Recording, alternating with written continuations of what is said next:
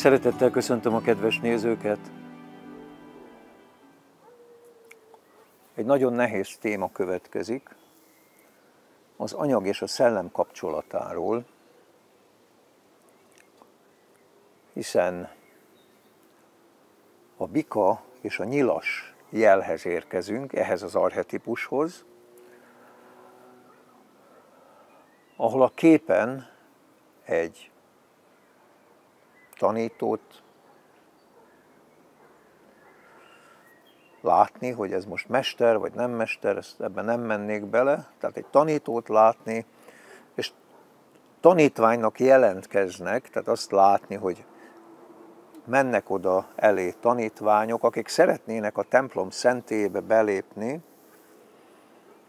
és ezért füzetni akarnak.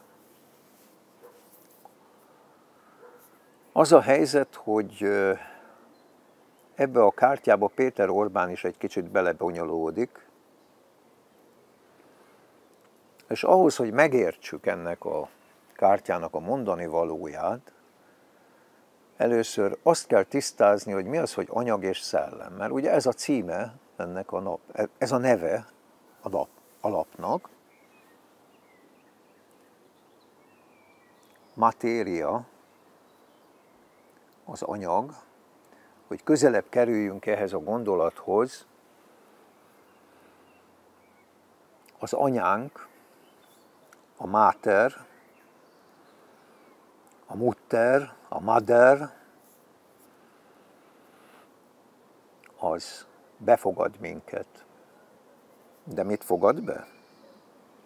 Az isteni lelket. Az isteni szikrát. És a nő az, aki a teste anyagi valósága által egy új léleknek felépít egy testet. Tehát azt a lelket anyagiasítja, segíti belépni az anyagvilág kapuján, és ezért mondhatjuk azt, hogy a nők legcsodálatosabb szakrális tevékenységet követik el, ha úgy tetszik, az Isten munkatársai ők, hiszen a teremtésben részt vesznek. Általuk teremtődik, általuk kap testet a lélek, mert hogy a lélekről beszélhetünk, csak ez nem szellem. Isten a szellem, a szent szellem. Tehát az anyag, az anyagba való belépés az anyánkon keresztül történik, és ezért nyugodtan mondhatnám, hogy ez felér egy szentséggel.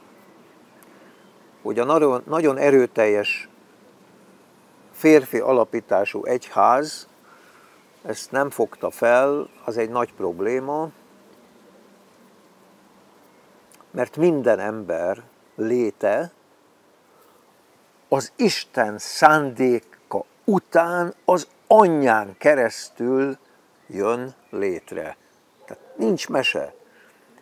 A nők, és ilyen értelemben azok a nők, akik megfogannak és anyává válnak, a legcsodálatosabb szentséget testesítik meg ezáltal. Hogy aztán ebben a szerepben ők hogy viselkednek, ez egy teljesen más tészta.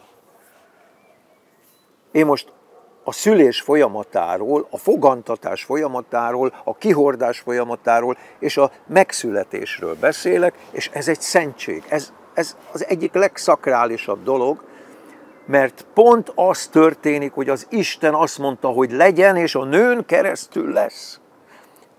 Ott jön létre az anyagiasodás, a lélek beleszáll abba a testbe, ha úgy tetszik, az édesanya, mint egy segít a léleknek leszállni a földre. Ez az anyag. Miért van erre szükség? Azért van erre szükség, mert az anyag nehézségein keresztül tud a lélek egy fejlődési cikluson keresztül eljutni az unió misztikáig, vagyis az Istennel való egyé válásig, vagyis az átszellemültségig.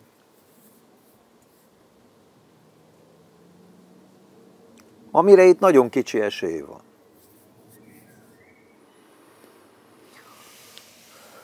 Tehát az anyag, az, az a durva anyagi, ugye a mi érzékszervi észlelésünk által egy kődarab, egy, egy mit tudom én, tárgy, tehát minden, ami anyag, az valójában az érzékelésünk következménye, egy megszilárdult, ha úgy tetszik, rezgés. De ez sem egészen igaz, mert továbbra is van benne rezgés, független attól, hogy anyag.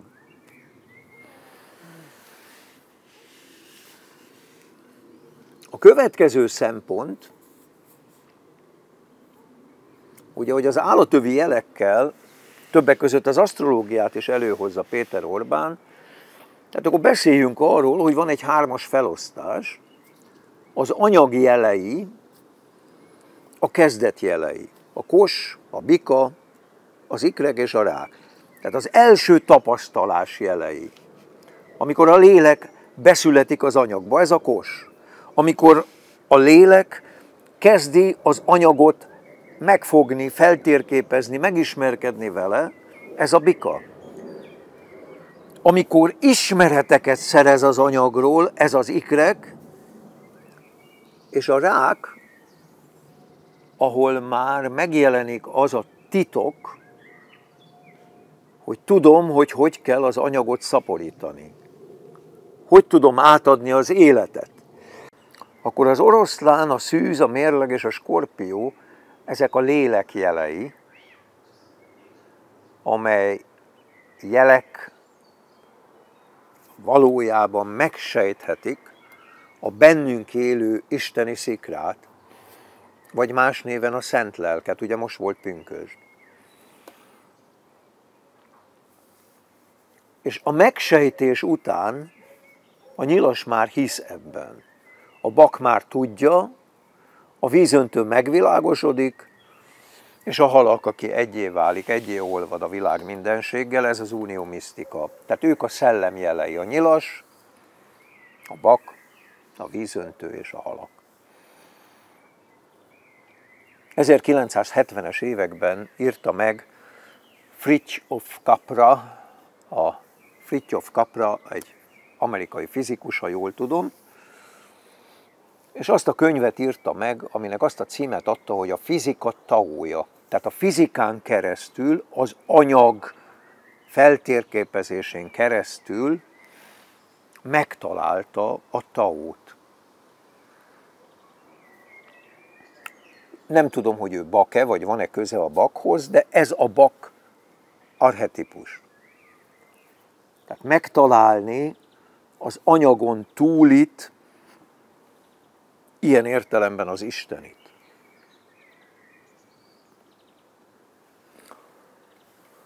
A mindennapi életben mostanában az ezotéria, tehát a, ugye a, a belső tudás, milyen gyönyörű, exotéria a külső tudás, ezotéria a belső tudás.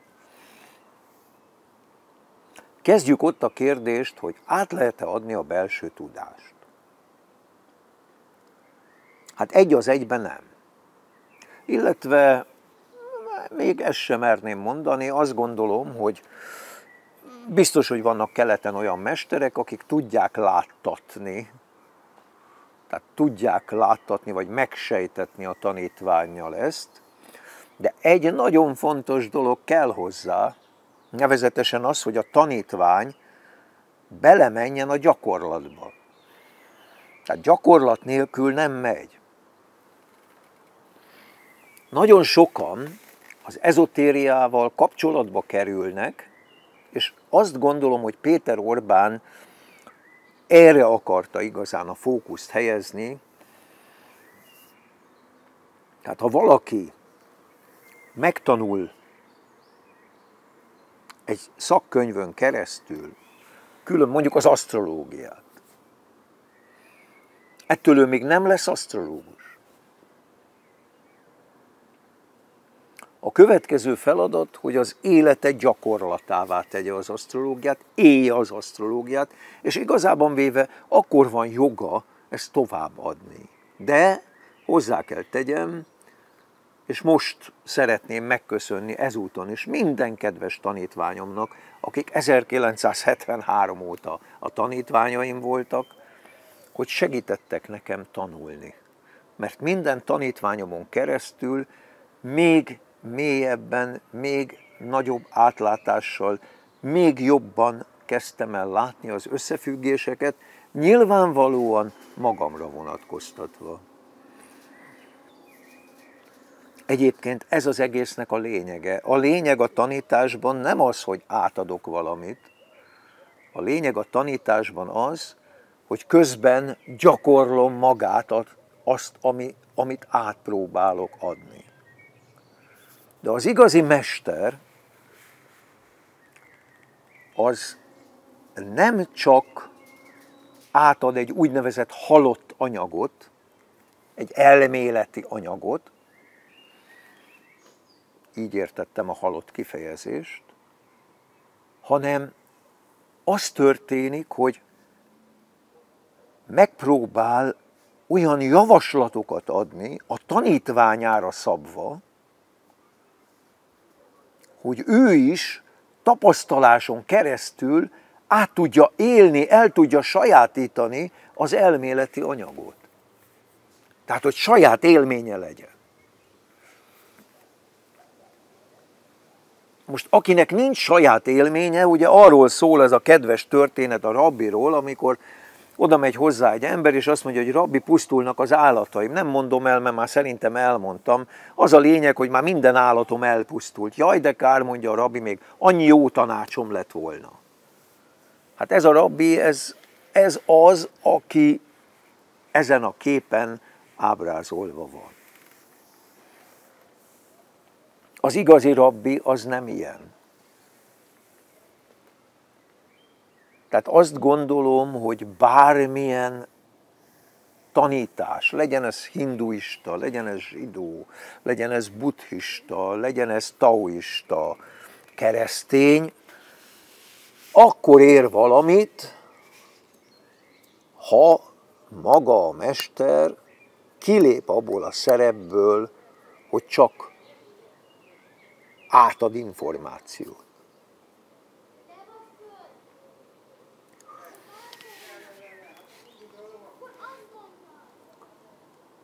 Minden embernek az a feladata itt a Földön, hogy a bikából nyilast hozzon létre. Tehát magyarul az anyagiból eljusson a szellemi tartományba. Az anyagot, ha úgy tetszik, átszellemiesítse. Vagyis ezáltal fölöslegessé tegye. De ahhoz előbb meg kell tapasztalni a dolgokat. Van egy tanítvány oda megy Buthához, a magasztoshoz, és azt mondja, hogy Mester, hát én most már annyi mindent elsajátítottam, szeretném tőled elsajátítani. Hogy jutok a nirvánába, hogy, hogy érem el a megvilágosodást? Butha végigméri, és megkérdezi tőle, hát lopni loptál-e már? Mester, lopni? Én? Hát hova gondolsz? Na látod, ez az. Menj és előbb lopjál. Ezt most ugye sokan félreérthetik, és arra gondolnak, hogy most Buddha valójában egy nagyon bűnös dolgot tanácsolt a tanítványának. Valójában Buddha azt akarta ezzel közölni, hogy nincs meg az élet gyakorlatod. Nincs meg. Tehát mindenkinek, amikor megtestesül, bele kellett merülni az anyagvilágba, és az anyagvilágban meg kell tapasztalnia különböző tapasztalásokat, és itt jön be ugye az, amikor a lelki szót úgymond félreérthetően alkalmazzuk, mert az Isten lelke ott van bennünk, de amikor hétköznapi értelemben a lelkiségről beszélünk, akkor az érzelmekről beszélünk. Át kell élni fájdalmakat, át kell élni boldogságot, át kell élni örömöt, vidámságot, mert ezek az érzelmi, nagyon érdekes dolog ez egyébként, mert a lelki átélésen keresztül kapunk egy kis ablakot a bennünk élő isteni magra. Mert akár az öröm által kerülünk egy úgynevezett extatikus, hát most ugye erős szót használok, de mondjuk egyfajta extázisba. Akár a szomorúság által kerülünk egy, egy teljesen nihil helyzetbe, mindkettő egy ablak a bennünk élő átmára. Azt mondja Jézus, senki nem juthat a mennyországba, csak én általam. Erre a hétköznapi ember, aki megint olvasott egy szöveget, ez egy információ. Jézus Krisztus által lehet csak a mennyországba jutni. Egy fenét. Ez butaság. Nem Jézus Krisztus által. Jézus Krisztus az isteni énre utal itt. És amikor ő azt mondja, hogy én általam, akkor ő ezt tudja. Ő ezt éli. Ő benne van, ő egy az isteni énnel. És itt az én általam erről szól, a bennünk élő átmánról, az isteni szikráról. Miért? Mert ez a következő lépcsőfok. Hát nem tudunk egy átszellemi-esedett állapotba jutni, amikor még el vagyunk akadva lelki kérdésekben.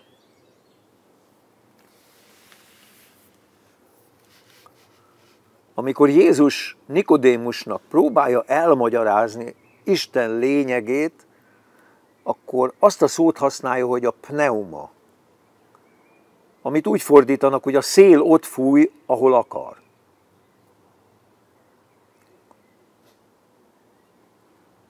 Valójában Merkurius Hermész a szél, ugye ő Isten követe. Tehát ilyen értelemben a szél is csak egy követ. Az még mindig nem az Isten.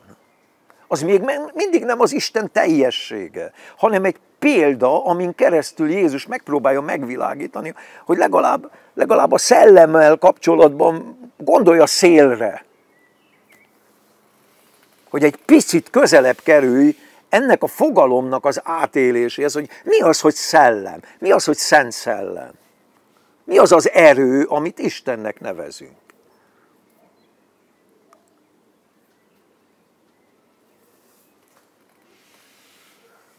Tehát amikor erről a kártyáról beszélünk, akkor valójában először is rögtön tisztázni kell a legalapvetőbb dolgot.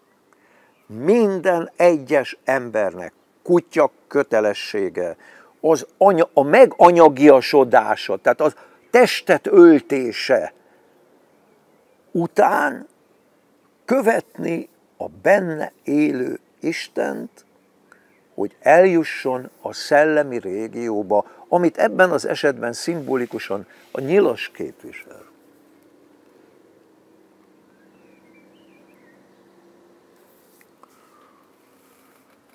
Most Péter Orbán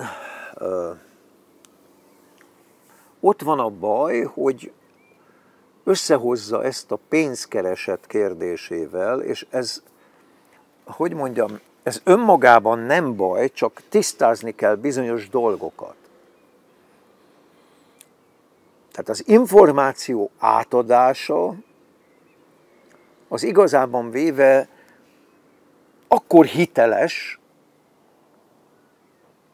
ha megélt tapasztalat van mögötte. Tehát, hogyha az, aki tanít, az megélt tapasztalatokat közvetít, és akkor még mindig nem elég, mert ez még mindig csak információ. A következő lépés, hogy megpróbálja testre szabni, tehát a tanítványnak elmondani, hogy mondjuk milyen gyakorlatokkal tudja ő is átélni ugyanezt.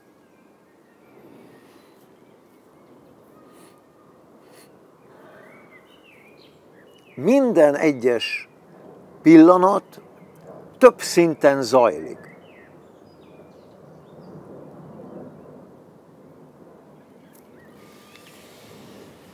Van egyszer maga a folyamat, ami, ami most teljesen mindegy, most például egy repülő repül itt el felettem. Ez maga a folyamat. De megkérdezhetem magamtól, hogy ez a repülő mit üzen most nekem? A zaj, amit csinál, mit üzen most nekem? Milyen módon gazdagítja az életre rálátásomat, az élettel kapcsolatos tapasztalatomat. És ezt mindenki megteheti. És ez mindenkinek egyedi élménye lesz. Ezért nem tudunk igazában, tehát senki sem tud megszentelni egy másik embert. Legfeljebb megmutathatja neki a megszentelődés útját, de azon neki kell végigmenni. Senki nem tud végigmenni egy másik ember helyett, mindenki csak a saját útján tud végigmenni. És ezért nagyon fontos, hogy Ám legyen, hogy a mester elfogadja az ajándékokat, mert a keleti mestereknek régen is, ugye Jézusról nem, nem, nem szól a fáma, de hát valamivel táplálkozott. És ennek következtében mondhatjuk azt, hogy lehet, hogy már nem táplálkozott, akkor ő már tudta, hogy hogy lehet úgy tanítani. De hát ki van itt most ilyen szinten, mint Jézus Krisztus, ne tévedjünk már. Tehát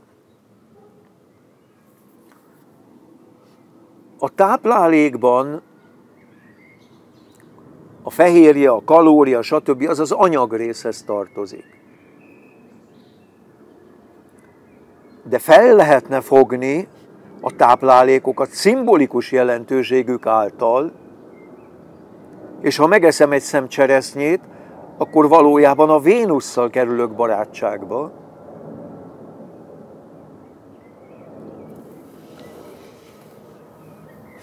Ha főd rizst teszem, akkor a holddal kerülök barátságba, ha búzát teszem, akkor a nappal kerülök barátságba. Tehát mindig van az anyagnak a folyamaton túlmutató üzenete. És ezt kell mindenkinek megkeresni. Erre kell mindenkinek rálelni. Miért? Hogy többé váljon általa hogy a tapasztalásokon keresztül megláthasson dolgokat, megsejthessen dolgokat, amelyek tovább viszik őt ezen az úgynevezett másik úton. Tehát az utak, ha úgy tetszik, párhuzamosan vannak.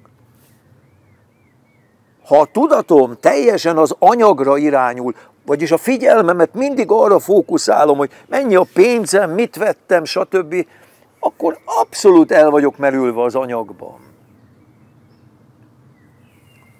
De ha elkezdek a jelenségek mögé nézni, ha nem csak az anyagi természetüket vizsgálom, hanem megnézem a lelki természetüket, és nehogy Isten még ráébredek arra, hogy, hogy a szellemmel ez hogy van kapcsolatban, de arra már rá kell ébredni. Akkor járom a gyakorlati utat.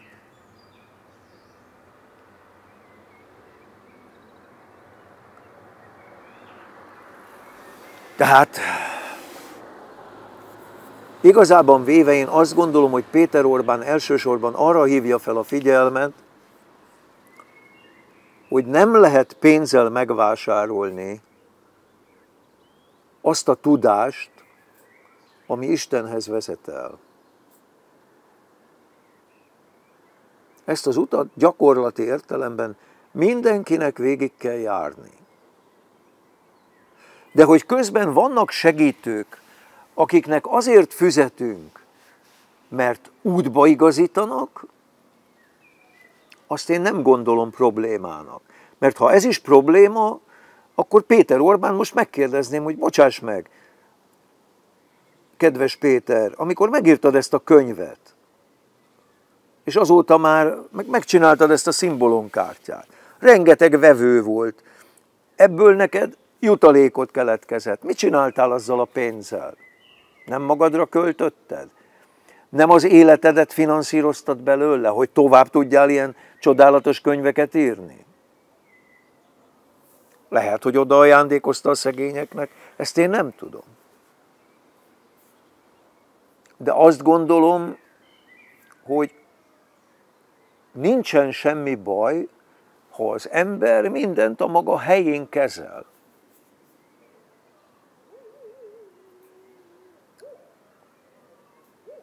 A tanítás, a tanító szerepe az a tanító lába elé helyeztek annak idején táplálékokat. Mostanában pénzt adnak, amin a tanító megveheti azt a táplálékot, amin fenntartja magát vagy a családját.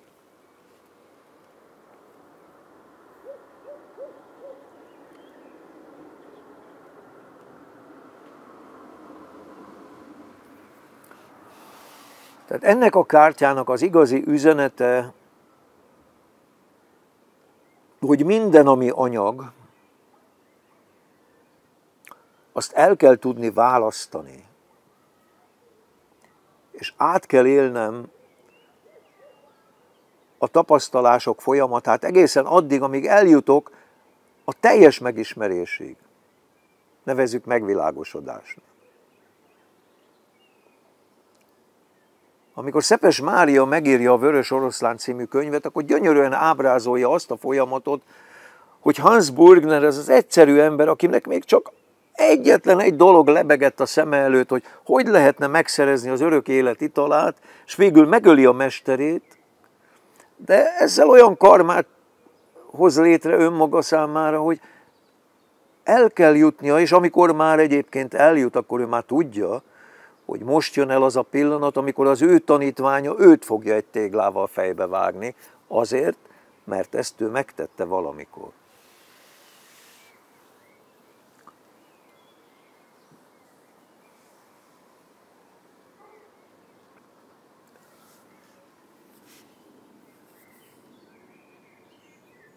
Az igazi tudást csak saját életem tapasztalatain keresztül tudom elsajátítani. Ez a lényege ennek, az, ennek a lapnak, ez a legfontosabb üzenete.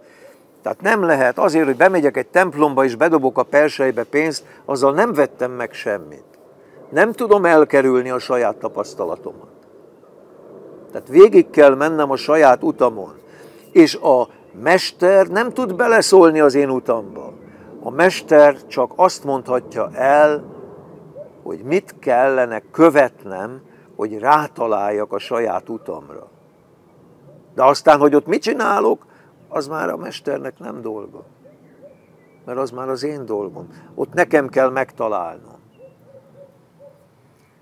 Tehát lehet ezt akár a bakkal is összehozni, hiszen hogyha azt mondjuk, hogy ugye a Saturnus az a kerub, aki ott áll, ő az ajtón álló viccesen fogalmazva, aki megkérdezi, hogy tudod-e a varázsigét?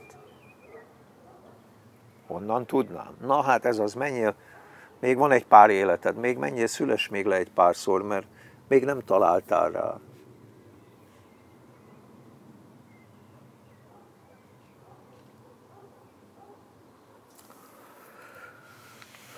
Ha első lapként húzom ki ezt a kártyát, akkor valójában a legfontosabb dolog, hogy azt mondjam ki önmagamnak, hogy kezdő vagyok. Bármilyen helyzetre kérdeztem rá, bármivel kapcsolatosan kérdeztem rá, kezdő vagyok. Tehát még nincs semmilyen tudásom ezzel kapcsolatban, és nagyon fontos ennek a lapnak az üzenete, pénzért nem is tudom megvásárolni. Ha második lapként húzom ki ezt a kártyát, akkor a legfontosabb üzenete az az, hogy tanulj, tapasztalj, jól teszed, ha ezt teszed, de a megélést semmi nem pótolhatja.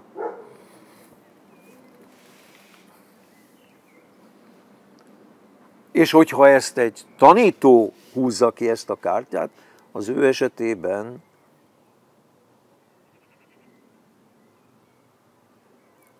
senkit nem tudsz egy jottányival sem előrébb vinni az útján. Csak saját maga tudja a saját útját követni. Tehát, hogy nekem van egy jó tanácsom, nincsen jó tanács. Hagyjuk a jó tanácsokat. Az asztrológián keresztül nem az a legjobb megoldás, hogy elkerüljünk dolgokat, hanem az a legjobb megoldás, hogy hogy hozhatjuk ki az átélésből a legtöbbet önmagunk számára.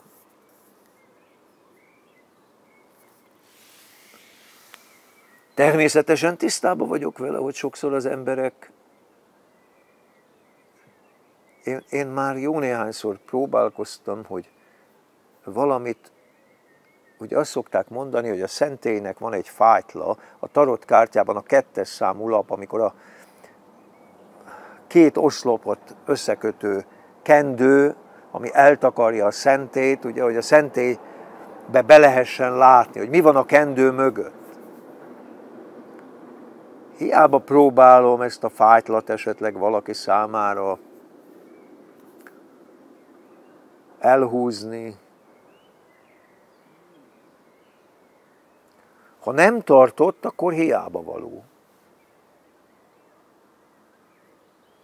Ezért szoktam, ma már, ma már nagyon-nagyon leegyszerűsítettem, tessék kérdezni. Mondja el maga, mit tud? Ne, ne, ne, ne. Tessék kérdezni. Ugyanis a kérdésből már tudom, hogy mit kell válaszoljak.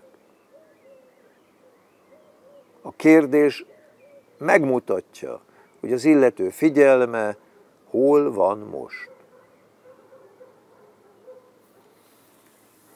Ha majd tovább kérdez, ha még másra is rákérdez, akkor, akkor lehet, hogy, lehet, hogy nyitott másra is. Annyit kell mondani, aminek a befogadására ő most képes. Többet nem.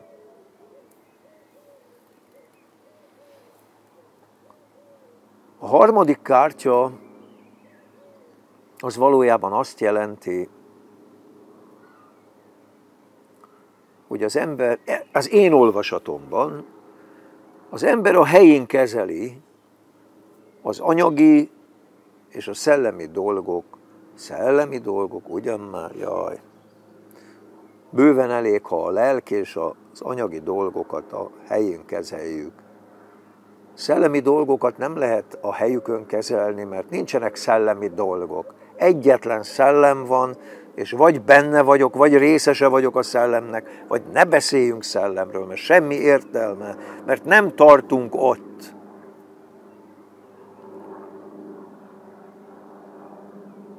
Törekszünk felé, a szellem felé, de nem tartunk ott. Tehát bőven rendben van, ha az anyag és az úgynevezett érzelmi életünkben, abban a rengeteg fajta csapdában és és, és szövevényes szálok, szálakban szeretem a pókháló hasonlatot használni. Hát, sokszor azt tapasztalhatjuk, hogy sokkal inkább belegabajodunk ebbe a hálóba, mint hogy kiszabadulnánk belőle. Mi itt beszélünk még szellemről. Függetlenül attól, hogy ez a részünk ez állandóan velünk van, és állandóan megadja a lehetőséget, hogy rálássunk. Hát igen, de aki, aki nem akar rálátni, aki mindenféle zajjal tölti meg az életét,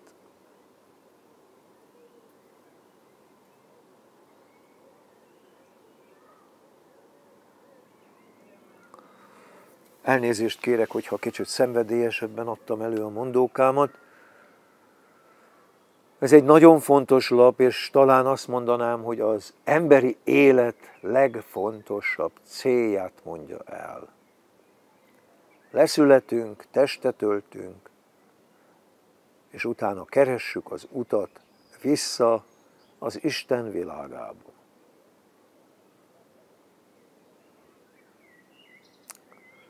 Ez ennyire egyszerű. Hogy túlbonyolítjuk? Hát, mondom, ott van ez a háló dolog, belegabajodunk a háló szálaiba. Ki akarjuk bogózni, bontani, és aztán inkább belegabajodunk.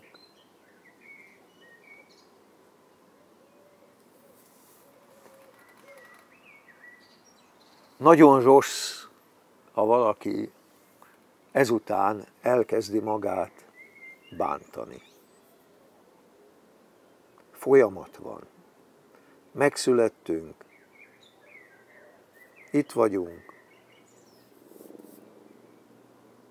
És keresők vagyunk. Keresők vagyunk mindannyian, és ebben a keresésben önmagunkat megfedni, elítélni teljességgel rossz taktika.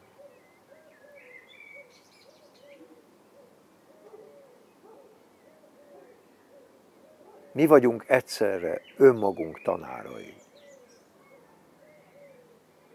És ezt a nebulót, aki bennünk él, ezt csak szeretettel lehet útba igazítani.